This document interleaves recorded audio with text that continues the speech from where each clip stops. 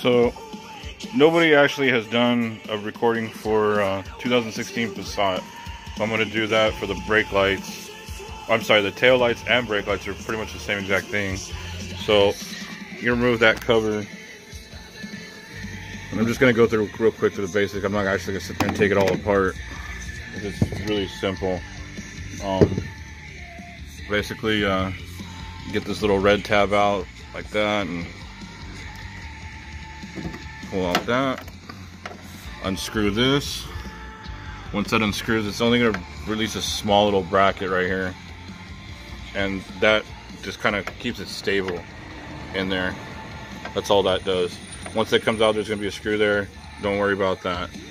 What you're to do is you're going ended up pushing this off. This with like tabs kind of just snaps right off.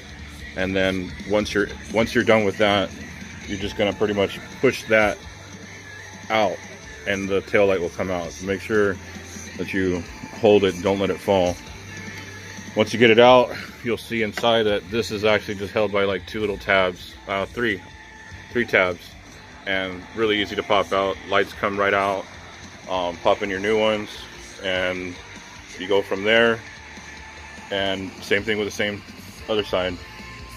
Um, first video, guys, so just bear with me you guys have a great day. Um, as far as the bulbs, I put in white T15s. Again, this is a 2016 Passat.